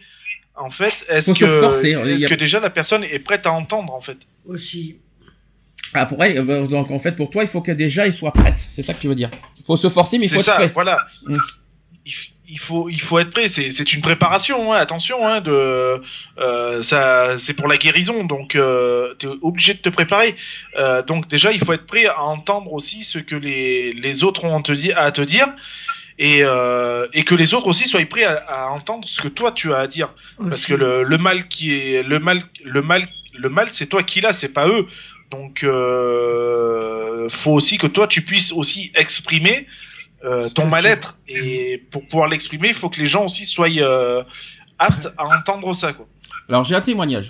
Un témoignage d'une ancienne boulimique qui a dit ceci. Aujourd'hui, je me rends compte que l'évolution euh, de l'évolution qui s'est accomplie. J'écoute les gens et je me rends compte que ce qu'ils font n'est pas contre moi ni pour me faire chier. J'ai changé énormément de choses au travers de la thérapie. Maintenant, quand je ne comprends pas, je demande à la personne de m'expliquer ce qu'elle dit ou ce qu'elle fait. Je suis consciente que j'ai tendance à interpréter et je m'efforce de vérifier. Je m'aperçois également qu'avant, il fallait absolument qu'on me remarque, qu'on me trouve belle. Maintenant, je suis devenue plus calme, plus discrète. Mon ego est moins surdimensionné et je vois et j'accepte les gens qui viennent vers moi. Avant, je ne, voyais, je ne voyais que moi. Mhm. Donc voilà. Il faut, en fait, il faut forcer les choses quelque part pour y arriver à, à, ce- à ce qu'elle écoute en quelque sorte. Mais c'est pas évident ça. hein. C'est pas évident, Mais il faut que ça soit écouté des deux côtés Mm. aussi. Donc voilà, j'ai fait le sujet. Est-ce que quelqu'un veut faire Alors, je vais quand même laisser à Eve qui, a- qui, voilà, qui elle a vécu l'anorexie, donc je pense que Eve euh, pourra nous faire une petite conclusion, puis nous on fera notre petit euh, notre avis euh, pour conclure. Eve, je te laisse la parole parce que toi, toi qui as vécu ça, peut-être que tu as des conseils à donner. Ah, des conseils, euh, oui et non. Je dirais surtout aux parents de, voilà, de garder quand même l'œil ouvert par rapport à, à leur fille, même leur fils, hein, puisqu'il y a quand même des garçons qui sont touchés par l'anorexie. Moi, j'ai connu un garçon qui, a eu ce problème d'anorexie. Et euh, donc, euh, de faire très attention et euh, de ne pas banaliser la chose, dire bah c'est pas grave, c'est juste une passade, ça va lui passer, mais d'aller voir vraiment un spécialiste de suite pour mettre fin euh, à, à cette, euh, cet euh, engrenage qui s'installe et qui sait peut-être même faire une thérapie familiale pour que euh, peut-être parce que sûrement il a des problèmes avec euh, les parents ou Qu'est-ce que tu appelles thérapie familiale Excuse-moi, qu'est-ce que tu appelles thérapie familiale Thérapie familiale, euh, donc euh, c'est la famille qui va voir un thérapeute, donc euh, un psychologue, et chacun, euh, voilà, exprime son ressenti, euh, dit voilà moi en- maintenant ce que je ressens euh, par rapport à mon père, ma mère, mes frères, l'école, et voilà chacun euh, s'exprime euh, euh, par rapport à ce qu'il ressent, par rapport à ce qu'il a entendu. Parce que quand quand tu dis, Voilà, parce que quand tu dis, de mieux se comprendre. Euh, Excuse-moi, Parce que, excuse-moi, parce que quand tu dis thérapie familiale, moi je pensais que tu parlais de, tu sais, des conseils de famille en quelque sorte qu'on fasse, euh, tu sais, le dimanche, euh, qu'on soit en famille, qu'on fasse une discussion Ah non, ensemble et que, ça, ça n'a rien j'étais parti là-dessus, moi en fait, quand tu dis thérapie familiale. Pourtant- mais pourtant, ça aurait pas été con ça aussi, Hein, comme, euh, de faire, euh, de faire ce genre, voilà, de faire une réunion de famille, de parler, de s'écouter, de forcer. euh, Non, ce, ce aurait pas été possible ça aussi? Oui, mais à condition, bien sûr, que la famille, je veux dire que les parents soient quand même un peu, euh, je vais dire, aimants. Tu vois que parce qu'il y a des parents, je suis désolée, mais euh, voilà, euh, ils sont tous sauf aimants, sauf présents. Euh, ils, ils- on- Tu peux pas dire que toutes les familles sont pas aimants. Non, mais si la personne, la jeune fille, a des problèmes quand même de, de ce style, ça vient quand même de quelque part. On ne vient pas, comme tu l'as dit, comme ça, anorexique comme ça du jour au lendemain. Donc, c'est quand même, il a quand même une cause. Et en général, c'est la famille, en premier, je vais dire, qui est la cause. Et pour les ça peut venir de l'école, ça peut venir, euh, je veux dire, de camarades de classe, mais c'est pas automatiquement, euh, je veux dire, la plus grosse partie, le, gros, le plus gros pourcentage vient quand même de la famille. et concernant les amis, t'as quelque chose à dire? Eh ben, je vais dire aux amis, si jamais vous avez euh, une camarade de classe ou un camarade de classe qui souffre de cette maladie, de ne pas hésiter de, de, de, de, de voir euh, l'assistante sociale de, de l'école, voir euh, le milieu médical de l'école, l'infirmerie. Oui, mais tu parles d'école parce que tu, tu, tu, tu- tu- quand tu dis école, parce que là, tu es en train de, tu, parles que des, des adolescentes, sachant que l'anorexie n'est pas que à l'adolescence. Oui, elle peut Ah être oui. euh, Maintenant, adulte. si c'est à, à l'âge adulte, si on a une, une collègue euh, au travail, euh, essayer de voir avec elle euh, qu'est-ce qui, qu'est-ce qui se passe dans sa vie. Peut-être elle a des problèmes, euh, je vais dire, euh, avec son conjoint ou voilà, euh, peut-être des problèmes relationnels au travail et essayer de voir avec elle euh, qu'est-ce que voilà qu'est-ce qui peut être mis au point pour euh, justement euh, briser ce cercle vicieux qui s'installe. Tout à fait. Et puis, euh, rappelons que, que c'est une discrimination, puni- euh, la, la discrimination en raison de la santé, en raison de l'apparence physique, est punissable par la loi. Mm. Donc, euh, quelqu'un qui est anorexique a aussi le droit de travailler et ne pas se faire jeter pour son apparence. Carrément. Je tiens à le dire aussi, cette histoire, parce que ça, là-dessus, il y en a beaucoup qui, qui l'oublient, si je peux me permettre. Oui, carrément, t'as dit Lionel, j'ai entendu. Oui, oui, c'est ça. Parce que double, discri- double J'ai- discrimination, hein. affreusement du mal à suivre. hein. Je le cache pas- pas. hein. c'est pas grave, tu fais de ton mieux, mais euh, double discrimination quand même, il faut quand même me rappeler ça aussi. C'est ça. Euh, quelqu'un veut rajouter quelque chose pour finir? Non. Non, Lionel, quelque chose?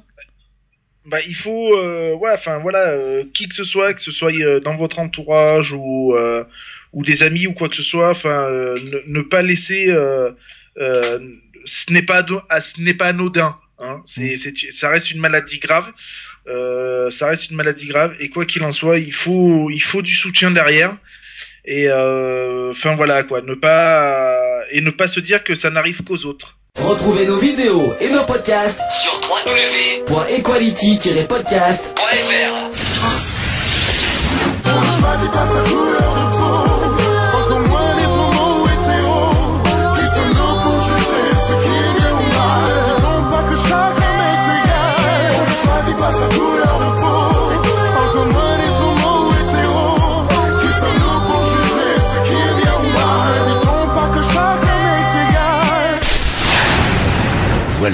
c'est fini. À très bientôt.